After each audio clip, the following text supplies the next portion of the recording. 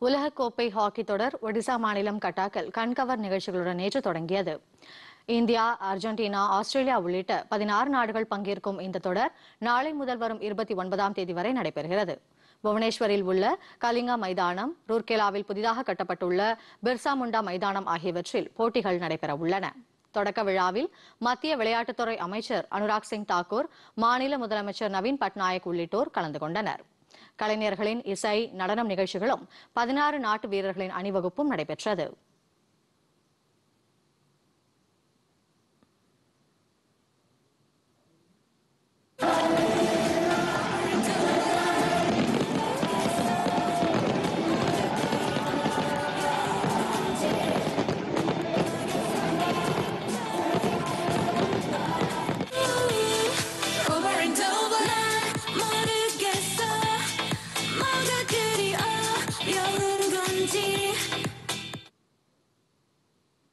உலகக்கோப்பை தொடரில் பங்கேற்கும் அணிகளுக்கு பிரதமர் நரேந்திர மோடி வாழ்த்து தெரிவித்துள்ளார்.